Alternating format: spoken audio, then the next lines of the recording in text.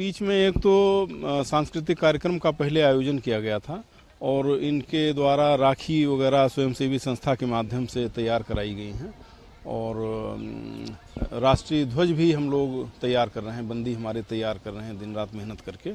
वो ध्वज हम अपने स्टाफ को और जेल में बंदियों को सबको देने के लिए, सबको दे दिए गए हैं।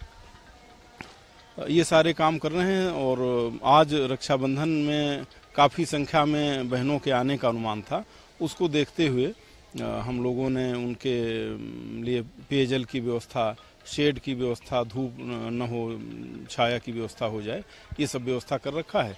इसमें हमने स्वयंसेवी संस्थाओं का सहयोग लिया है और उनके माध्यम से बंदियों के लिए रोली, टीका, अक्षत, राखी, मिठाई, ये सब व्यवस्था भी इन लोगों ने किया है।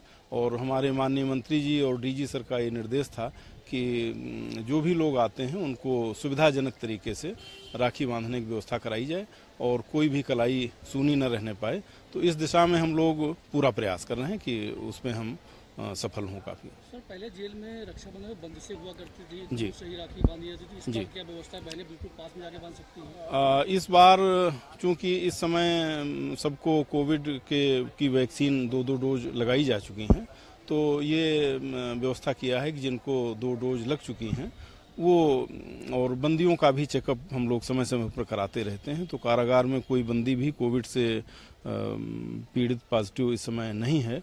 और जिनको हम प्रवेश दे रहे हैं, सभी लोग दो दो वैक्सीन लगवाए हुए हैं। तो इस तरह से थोड़ा गैप रहेगा तब भी, लेकिन प्रयास ये किया है कि सबको सुविधाजनक तरीके से राखी बांधने का मौका दिया जा सके।